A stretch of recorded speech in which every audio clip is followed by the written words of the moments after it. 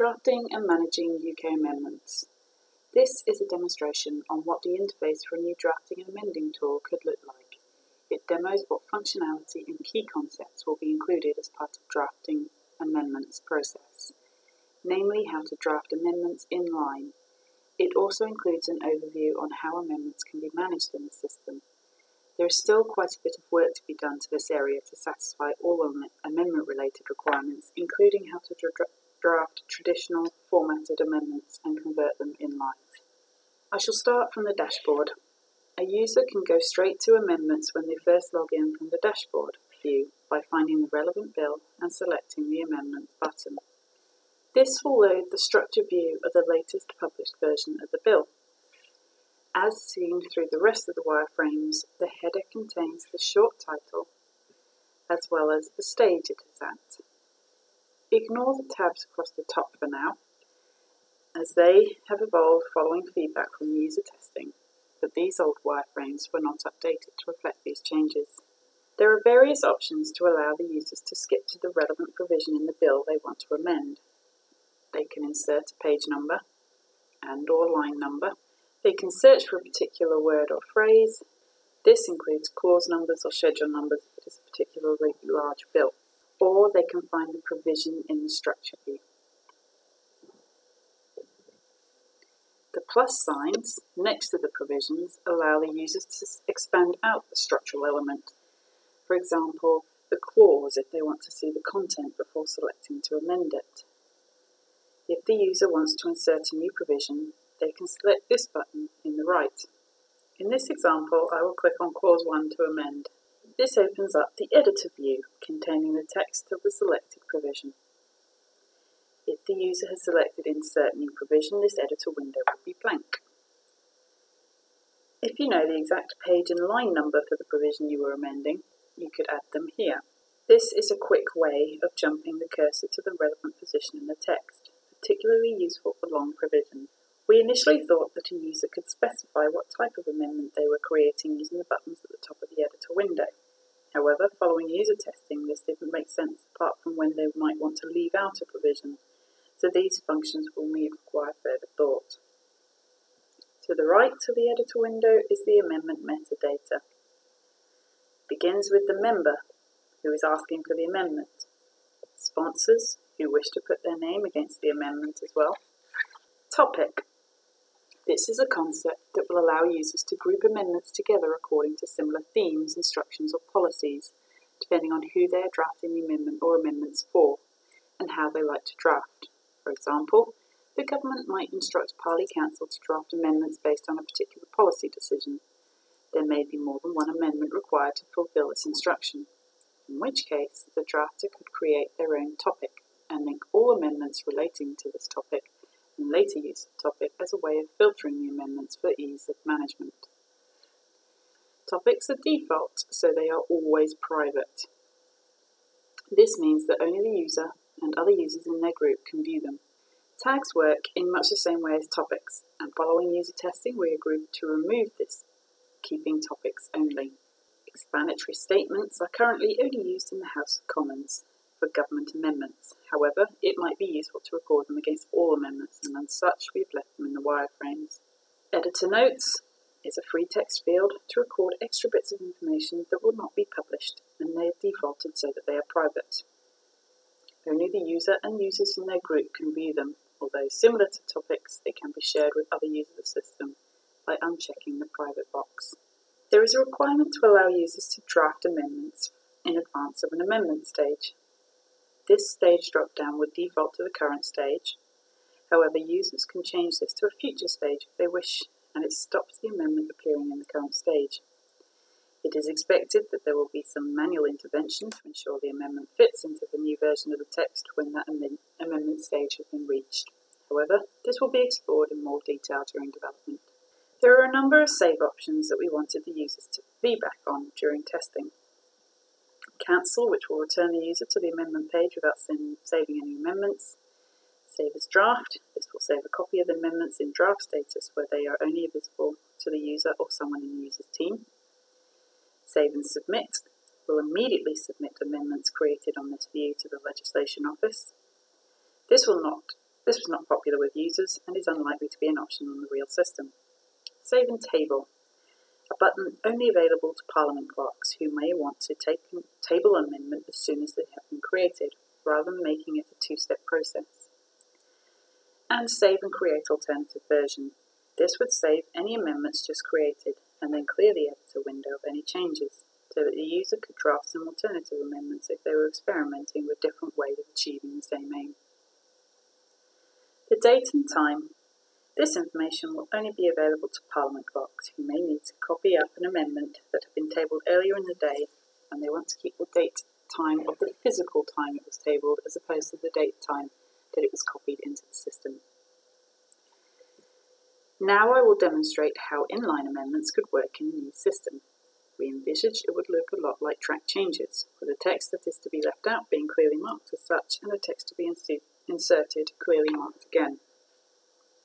When creating new amendments, it is possible to create more than one at the same time.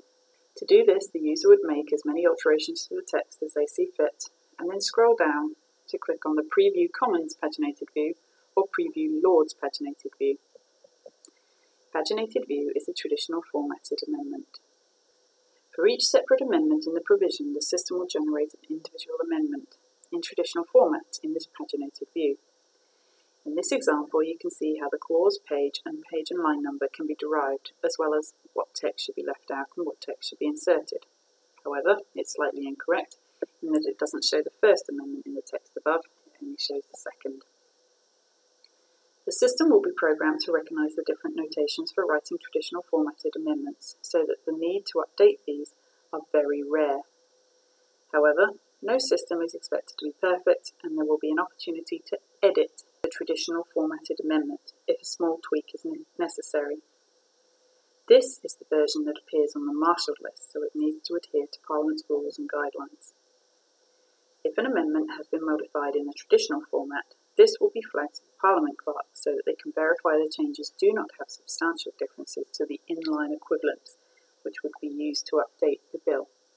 The grey boxes below will contain any amendment already recorded against this provision, so that you can check that you aren't duplicating an amendment already created by someone else in your team. If you are a drafting lawyer from the OPC, you will only be able to see draft amendments created by you or others in your group, tabled amendments created by you or others in your group. This includes those that are waiting to be accepted by the Commons PBO or the Lords Legislation Office, and those that have been accepted but have not yet appeared on an official amendment list and published amendments created by anyone. These are amendments that have appeared on an official amendment list available elsewhere. If you are a Parliament clerk, you will be able to see draft amendments created by you or others in your team. For example, you will not be able to see draft amendments that were created by the OPC which haven't been submitted for tabling yet. Tabled amendments.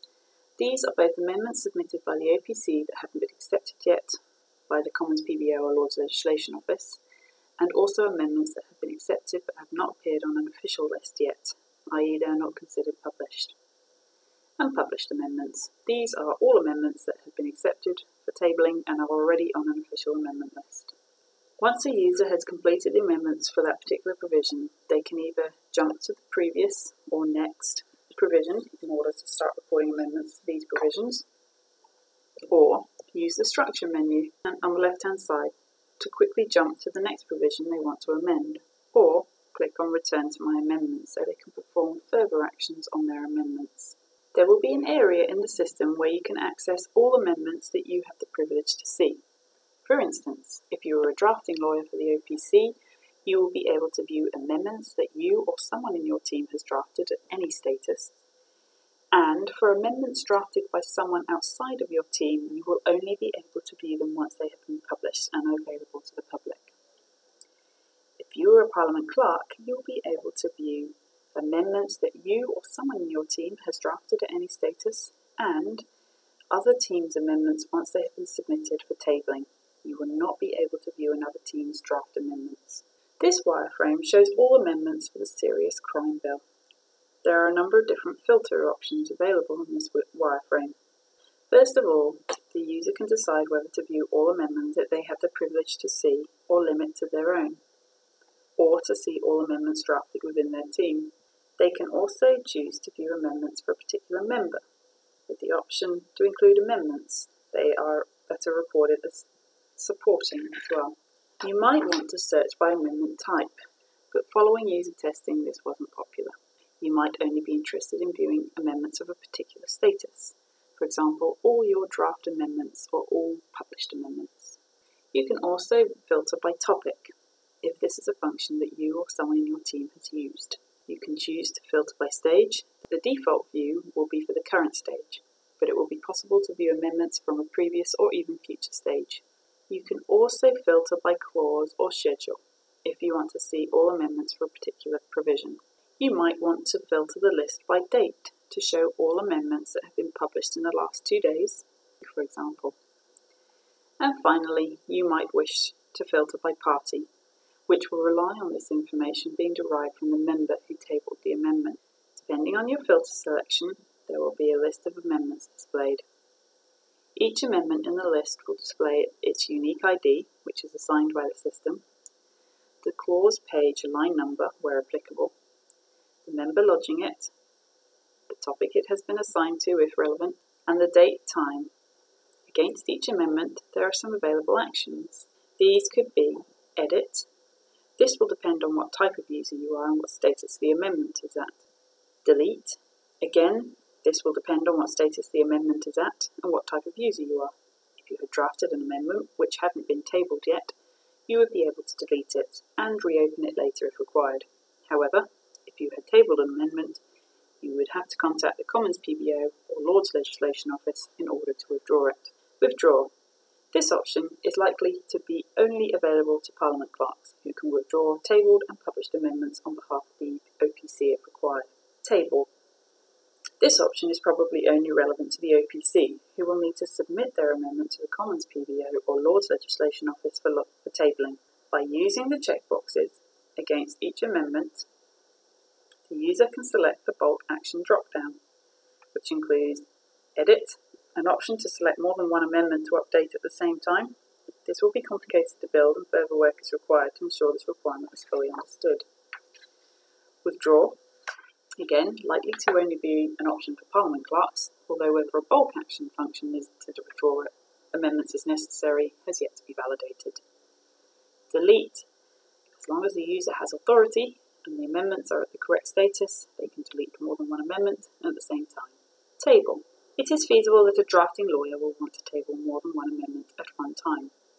The other options we might want to consider include add to topic, if the user would like to add other amendments to a particular topic as a bulk action rather than opening them up one by one, and add sponsor.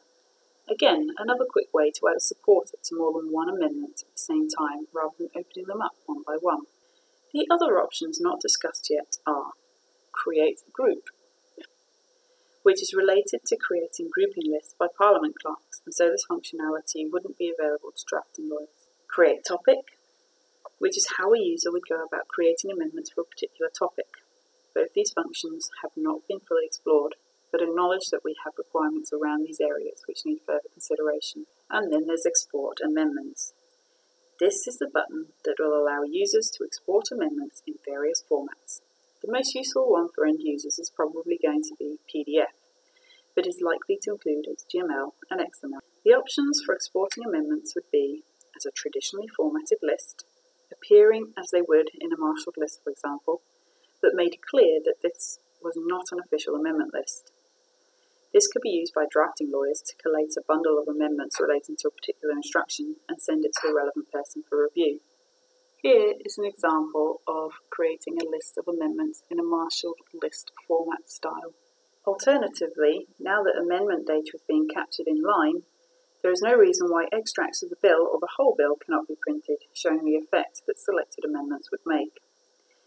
This is the end of the demonstration on what functionality and user interface for drafting and managing amendments could look like.